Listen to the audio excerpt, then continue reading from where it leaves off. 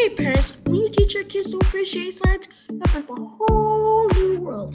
Now I'm a scientist from the shop at winceyco.com today.